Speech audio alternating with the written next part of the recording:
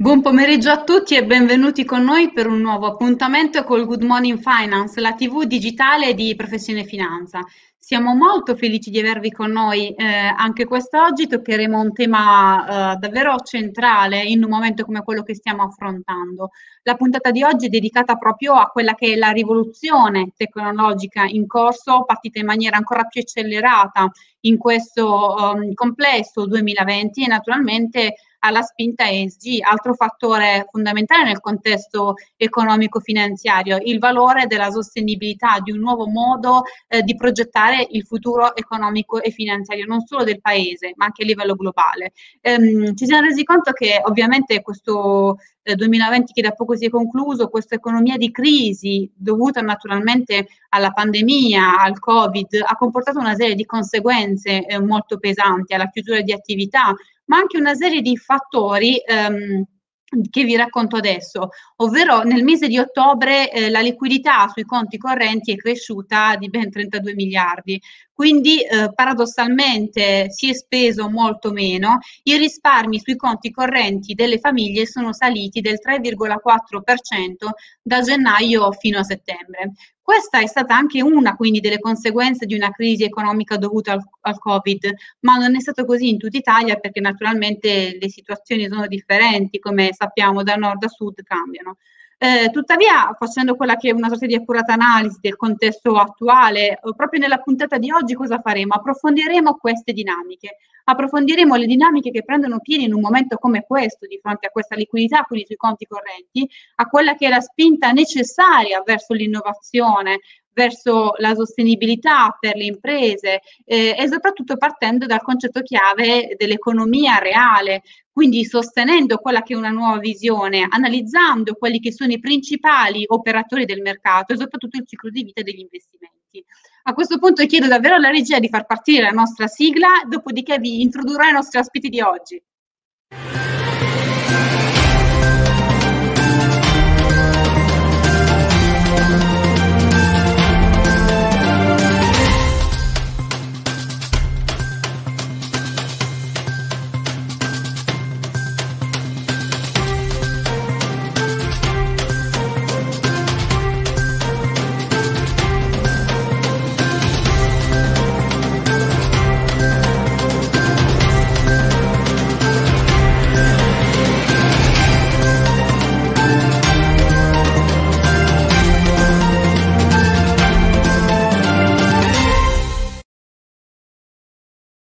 Bentornati con noi in questa interessantissima puntata di cui vi ho già, come dire, annunciato, preannunciato un po' di, di elementi di analisi di contesto che andremo ad affrontare. Eh, parliamo quindi di questo tema molto caro, di come il contesto si stia evolvendo, quindi attraverso la rivoluzione tecnologica, la spinta ESG, ma soprattutto di come interviene l'economia reale all'interno di questo cambiamento. Ecco, è così che ho il piacere di annunciarvi i nostri ospiti di oggi. Abbiamo con noi il nostro direttore generale Marco Cigna e Alex Rettiche Buono, Managing Director eh, presso New Hand Associates.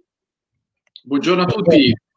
Buongiorno, buongiorno. Buongiorno Marco, buongiorno Alex, felicissima di vedervi qui con me in diretta oggi col Good Morning Finance. A questo punto direi di entrare davvero nel vivo della puntata di oggi, dopo che vi ho già spiegato un po' di cosa tratteremo. Eh, come forse alcuni di voi già sanno, uh, Alex è un volto noto del mondo della finanza ed è, come dire, amico di professione finanza da diverso tempo. Tuttavia vogliamo dare anche a voi che ci seguite la possibilità di conoscere chi è Alex Di Crebuono. Per cui Alex ti chiedo davvero di raccontarti al nostro pubblico e fare una breve presentazione.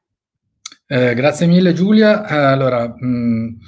io mi occupo di finanza da più di 25 anni, eh, negli ultimi tempi in particolar modo mi sono occupato di distribuzione di uh, fondi di investimento eh, dal lato eh, illiquido, quindi eh, sostanzialmente fondi di private equity, di private markets di alcuni tra i più grandi gestori eh, mondiali,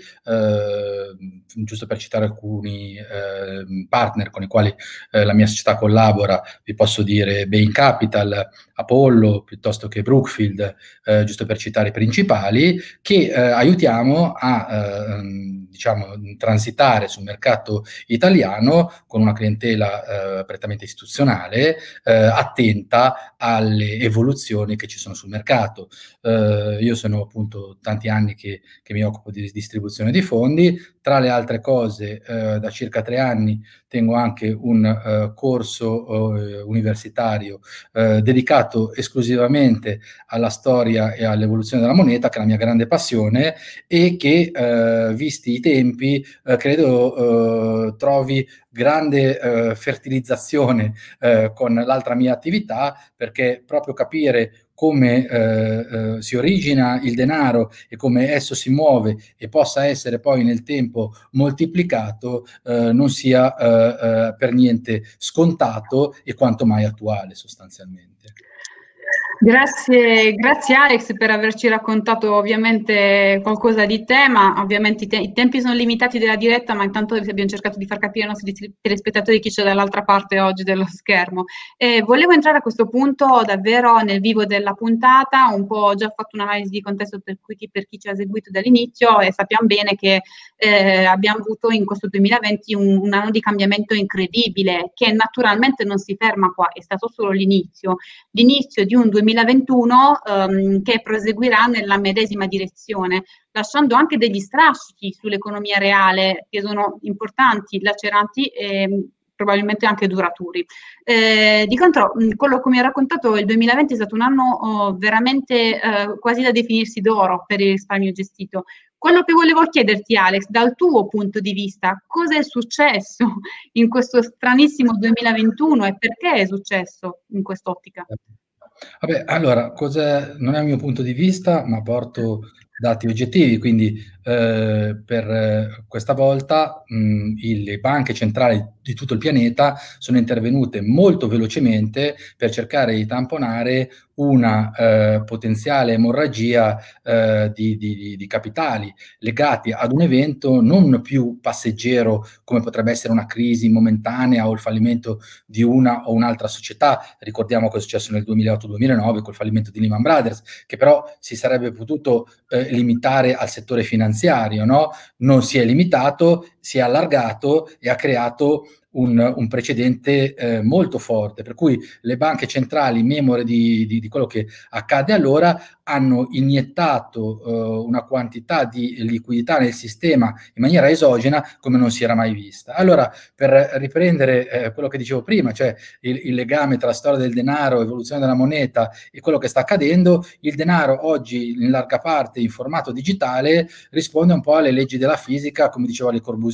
nulla si crea, nulla si distrugge, ma tutto si trasforma e siccome il denaro digitale, a meno che non esplodano i server delle banche, rimane all'interno del sistema è un denaro fresco, nuovo, che dovrà trovare un impiego. Purtroppo e questo l'hai detto, alcuni settori che invece mh, mm, mm, eh, sono eh, eh, collegati alla rotazione del denaro fresco e eh, necessitano anche di eh, eh, protezione, come potete immaginare mi riferisco al settore del turismo piuttosto che quello della ristorazione o, o, di tutto quello che è legato al consumo diciamo in presenza, ha avuto delle sofferenze straordinarie e che è auspicabile attendersi che verranno supportate dai governi nei prossimi, nei prossimi mesi. Chiaramente chi vive in quei settori in questo momento eh, vede nero, vede sicuramente buio, a, diciamo, eh, quando invece, come dicevi giustamente tu prima Giulia, chi lavora nel settore della finanza, che ha visto questa enorme massa di liquidità che si è riversata anche sui mercati azionari ed obbligazionari, ha visto i corsi eh, di questi ultimi crescere in alcuni casi anche con eh, dei valori incredibili, cioè a tre cifre. Hai dato un quadro assolutamente esaustivo, Alex, della situazione. Sappiamo che accanto al settore del turismo, anche quello della cultura è stato duramente colpito. Abbiamo avuto anche l'onore di avere degli ospiti proprio che ci hanno raccontato cosa si cercano di fare in questo momento proprio per spingere determinati settori. Per tornare però al, diciamo, al tema principale della giornata di oggi, volevo eh, a questo punto anche coinvolgere il nostro, il nostro Marco Cigna, che sicuramente anche lui ha un'opinione in merito e sicuramente una curiosità da porti. Sì, grazie Giulia e di nuovo bentornato e bentrovato Alex.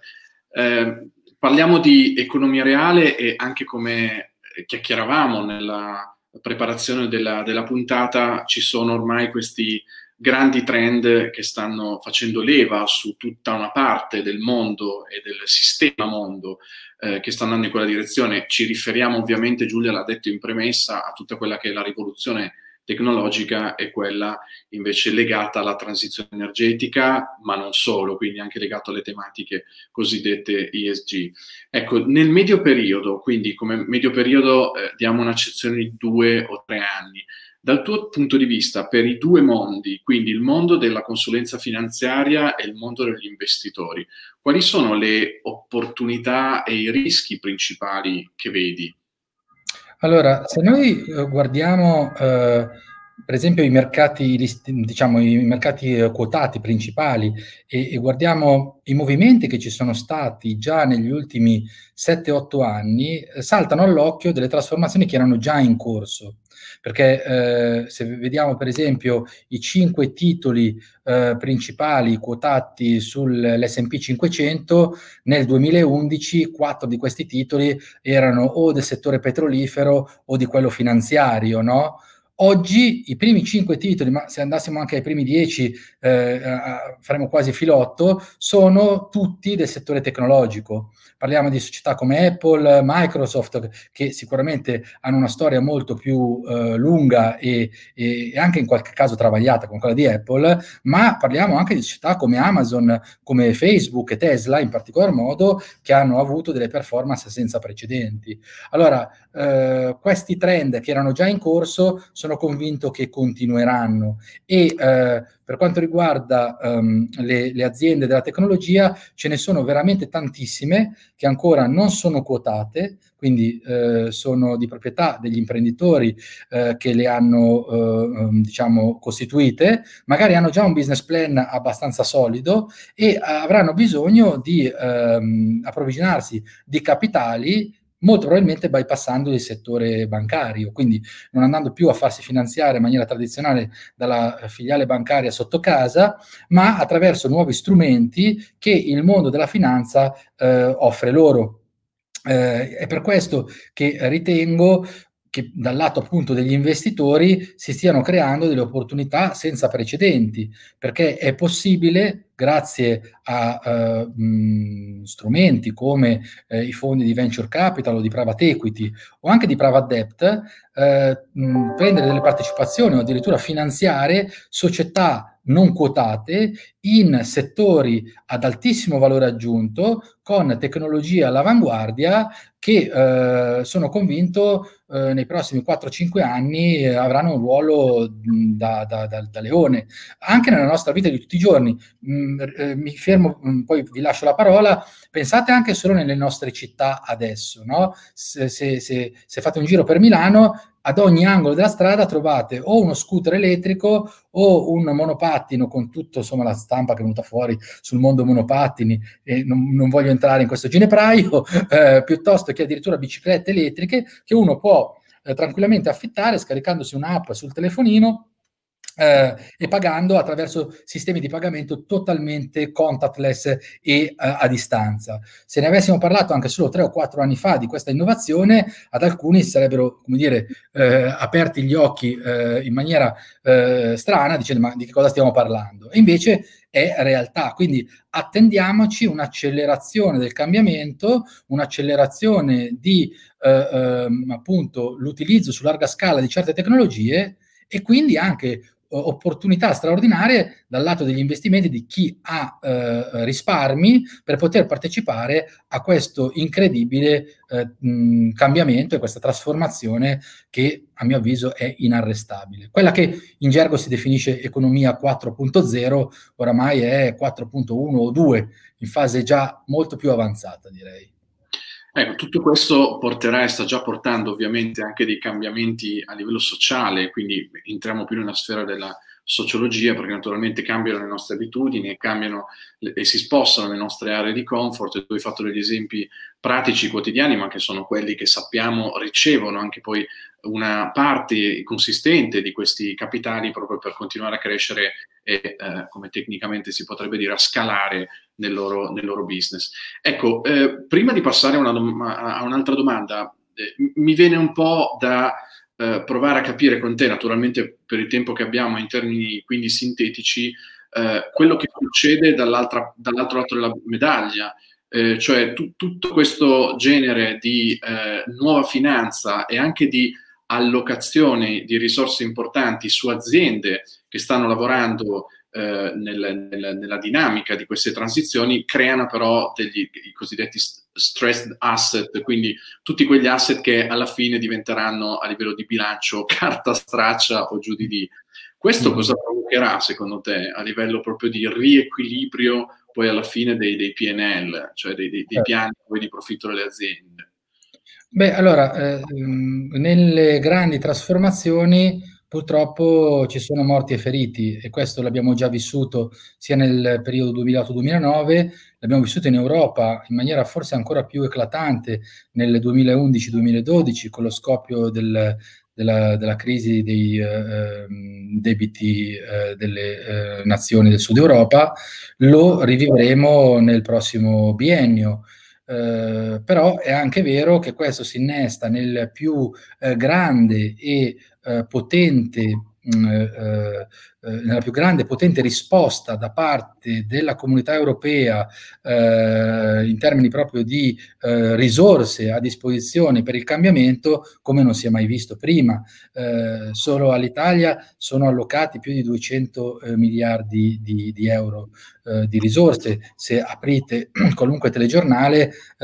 si sta cominciando già a spiegare come eh, si, si, si, si, allocheranno eh, in larga parte queste risorse, che dovranno essere da un lato, certo, a supporto di queste nuove tecnologie, di questi nuovi eh, settori, dall'altro anche eh, da far da paracadute eh, per quelle, quelle aziende, quelle società che invece o eh, sono state colte di sorpresa, diceva prima Giulia, alcuni settori, quello della cultura, quello del turismo, della ricezione eh, alberghiera piuttosto che della ristorazione, ma non solo, eh, non voglio limitarmi a questi, sono tanti altri settori colpiti, eh, che dovranno essere per forza di gioco di cose eh, aiutati, ma dovranno anche loro adattarsi a questo cambiamento. Quindi quello che comporta questa eh, eh, nuova rivoluzione che abbiamo definito 4.0, ma che io preferisco più definire 4.2, se non addirittura 3, perché è già avanzata, è quello di eh, eh, riuscire ad adattare business tradizionali eh, con le nuove tecnologie. Questo trend io credo che continuerà e anzi sarà addirittura fortemente accelerato. Ecco Alex, parlando di eh, nuovi, nuovi, capitali, eh, prima ci hai eh, illustrato il perché e che cosa sta succedendo anche tra la fascia delle piccole imprese. Ricordiamo che quando parliamo di piccole imprese non le definiamo per una loro natura futura, ma le definiamo per una natura tipicamente dimensionale attuale. Ecco, questi, queste piccole imprese, questi piccoli imprenditori, ma ripeto, anche Jeff Bezos era un piccolo imprenditore, ehm, stanno quindi sempre più con popolarità accedendo al mercato di capitali eh, anche attraverso tra l'altro la, la, fintech. Ecco, secondo te questa quota di, di, dire, di, di mercato che di fatto si, si sta aprendo poi anche per gli investitori, eh, siamo solo all'inizio, eh, in Italia ci sarà comunque un cap eh, di crescita dovuto all'aspetto più culturale, quindi un, un, accesso sempre privilegiato o comunque tradizionalmente visto come pri, primario eh, sul mondo bancario tradizionale. Come vedi un po' la situazione in Italia da questo punto di vista nei prossimi 3-5 anni? Questa è una bellissima domanda. Allora, eh, parto dalla parte negativa per poi andare a quella positiva. Se noi eh, consideriamo qual è la penetrazione degli investimenti nel settore di private equity e addirittura scendiamo a livello di venture capital o di angel investment, siamo nell'ambito dello 0, contro una media europea invece molto più consistente. Si stima che nell'Europa continentale, quindi includendo Francia e Germania, che sono insomma i due pesi massimi dell'Europa continentale, questa penetrazione oscilli tra il 13 e il 15%. Nel mondo anglosassone eh, includendo anche quello americano, eh, siamo a delle punte ben superiori al 20, addirittura al 25% di investimenti fatti da istituzionali in eh, diciamo, questo segmento di mercato. Quindi il punto di partenza dell'Italia è un punto estremamente basso che è il lato negativo. Il lato positivo invece è l'esatto opposto, cioè che moltissime risorse possono invece convogliarsi all'interno del mondo dei private markets a sostegno dell'economia reale, perché in un ideale eh, diciamo, eh, eh schema mh, dei cosiddetti investimenti alternativi, e in Italia eh, siamo forse i campioni del mondo su quella parte di investimenti considerati alternativi che purtroppo hanno dato delle brutte sorprese, cioè il settore immobiliare, eh, il eh, segmento del private equity è quello che eh, pur avendo un livello di liquidità basso, perché sono investimenti di medio-lungo termine, quindi bisogna essere pronti e preparati di bloccare i propri eh, soldi per un periodo predeterminato di almeno 6, 8, se non addirittura 10 anni ma come i semi che vengono messi nella terra fertile, poi questi possono far germogliare delle piante molto robuste eh, che eh, oggi non le vediamo neanche. No? Quindi rispetto al mondo nell'investimento tradizionale eh, alternativo, quindi immobiliare o speculativo tramite i fondi, eh, in particolar modo gli hedge fund, che nel 2008 e nel 2009 hanno avuto non pochi problemi, ricordiamolo, il mondo del private equity va a prendere risorse dal risparmio per fornirle a quelle aziende ad alto potenziale di crescita, a quegli imprenditori capaci a cui faceva riferimento poc'anzi Giulia, che ne beneficiano nel lungo termine, quindi non sono mh, mm, mm, come dire, costretti, come nel caso delle società quotate, a dover pubblicare una trimestrale o addirittura eh, stare dietro ai risultati mensili, ma possono programmare a medio-lungo termine generando eh, delle eh, ricchezze inimmaginabili per chi invece eh, è con la spada di Damocle della trimestrale da dover comporre eh, ogni, ogni, tre mesi. Dunque, eh, per rispondere alla, alla, tua domanda, io credo che è vero che il punto di vista dell'Italia è un punto di vista un po' arretrato nel segmento, ma grazie all'enorme risparmio che abbiamo, grazie alla nostra capacità di adattarci, perché eh, io eh, che ho lavorato per più di vent'anni della mia vita all'estero, devo dire che sono molto orgoglioso invece di essere italiano italiano e credo che al di là dei grandi difetti che sono conosciuti e sbandierati ai 420, noi abbiamo anche dei pregi straordinari, un'intelligenza vivida, una capacità di adattarci al cambiamento che spesso invece dove tutto è regimentato, tutto funziona, è, è un po' più difficile. Quindi eh, ritengo che sia una grande opportunità per il nostro paese, ma passerà dalle persone. Quindi se gli imprenditori saranno in grado di eh, farsi affiancare um, da professionisti, in grado di accedere a quei capitali, innestare nelle loro aziende, trasformare parte del loro business tradizionale in business alla 4.0, io credo che l'Italia farà faville. Eh, Concordo completamente. La, lascio a te Giulia per l'ultima domanda. Ah, più che altro Alex, ovviamente si tratta proprio di una rivoluzione imprenditoriale, ce la stai raccontando proprio sotto questo cappello, ma proprio sotto questo cappello e alla luce del contesto delle dinamiche che ci hai proprio esplicitato adesso, provocatoriamente un po' ti chiedo, qual è il ruolo dell'educazione economica? Eh beh, è fondamentale eh, perché purtroppo in Italia siamo stati abituati male bene e male, nel senso che chi ha grandi risorse eh, di risparmio eh, ehm, in cascina sono per lo più persone che hanno vissuto il boom economico degli anni 70, 80, se non addirittura anche precedenti e fanno magari un po' fatica ad adattarsi alla frenesia del mondo moderno e che in realtà eh, hanno, come dico io, il seme